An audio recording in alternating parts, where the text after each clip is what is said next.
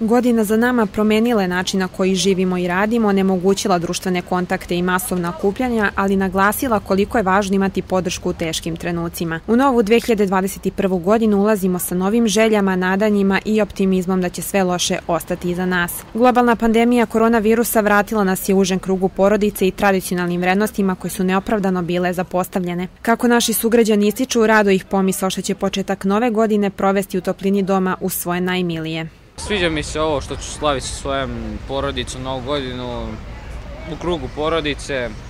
Meni je to sasvim dovoljno. Da, spremne smo pa sa društvom, drugarima u kućnoj varijanti. Trenutno smo kupili sokove, još treba hrana da kupimo. Vjerojatno ću u kući sa dve, tri drugarice smo se dogovorili kod mene da gledamo film i tako. Euforija karakteristična za ovaj period godine nije izostala. Trud kreativnih ruku došao je do izražaja te se na novogodišnjim tezgama mogu pronaći ručno rađene kebane, dekoracije, ukrasi i jelke kao i različite vrste kolača. Razlika odnosu na prošlu godinu je drastična što izaziva primetno nezadovoljstvo prodavaca. Kako oni ističu sumnje da će njihovi proizvodi pronaći put do zainteresovanih ljudi, sve je veća. Ima neke razlike u odnosu na prošlu godinu? Kako ne, malo ljudi su malo pestašeni. Ne znam da vam pravo kažem šarenom.